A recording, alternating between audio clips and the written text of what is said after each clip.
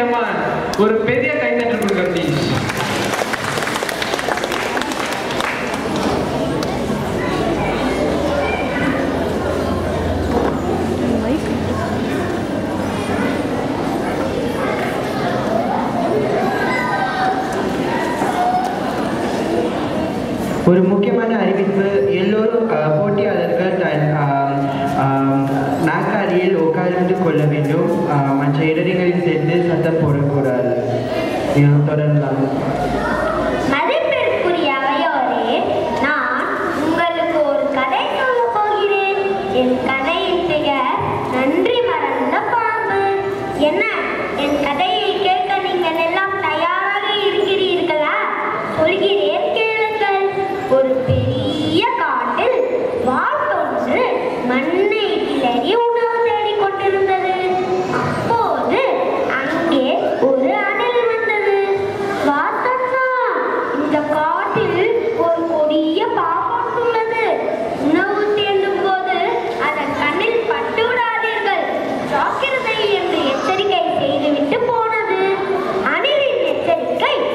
வாத்துக்கு பயத்தை தந்தது. அது நடுக்கத்துடன் அக்கம் பக்கம் பார்த்தது. அப்போது யாரோ உணவும் சத்தம் கேட்டது. என்ன சத்தம் அது? பார்த்து சற்று நேரம் கேட்டது. பிறகு சத்தம் அந்த திசையை நோக்கி நடந்தது. அந்த சத்தத்தை எழுப்பியது வேறு யாரும் இல்லை. அணில் எச்சரித்த அந்த கொடிய பாம்புதான். அது ஒரு பெரிய மரக்கிளையின் அடியில் சிக்கிக் கொண்டிருந்தது.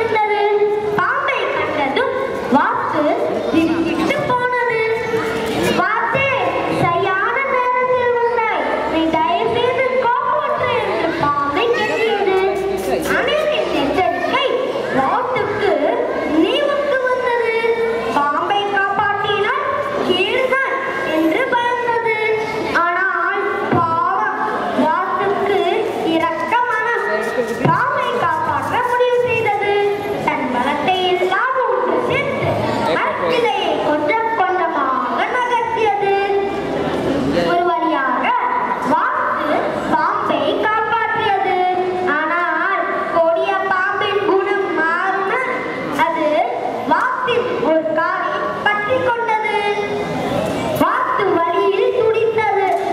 பாம்பே நீ செய்வது நியாயமா? உன்னை காப்பாற்றிய என்னையே நீ திட்ட போகிறாயா? என்று அலறியது. என்ன